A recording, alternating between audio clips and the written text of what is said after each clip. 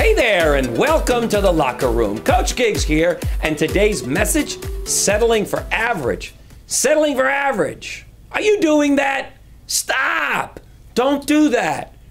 Columnist Maureen Dowd says, quote, the minute you settle for less than you deserve, you get even less than you settle for. I like that. Folks, dreams require a person to stretch, to go beyond average.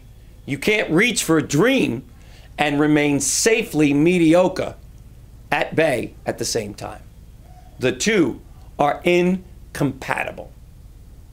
So when we are too uninspired to dream, when we settle for average, we may be tempted to blame it on others, on our circumstances, on the system, on someone else.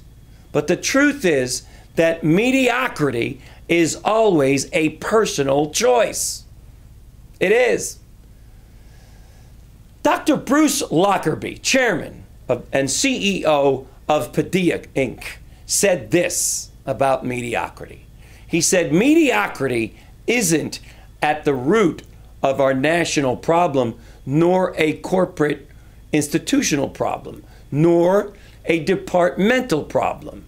Mediocrity is a personal problem.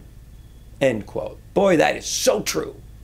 Author Ken Hildebrand expresses the negative effects of such an existence. He said, quote, the poorest of all men is not the one without a nickel to his name. He is the fellow without a dream. He is like a great ship made for the mighty ocean, but trying to navigate in a mill pond. End quote. That was good.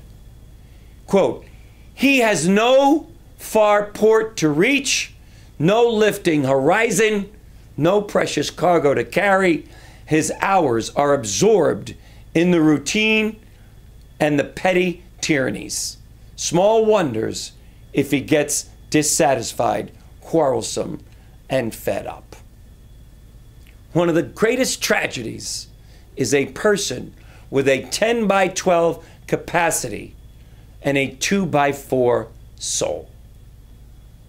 Folks, you and I need to realize that when we get out from thinking average and start thinking above average and start seeing things in a much greater light, only then can we begin to experience life's beauty, life's amazing, amazing things that are waiting for you and I to experience. That's the message today, gang.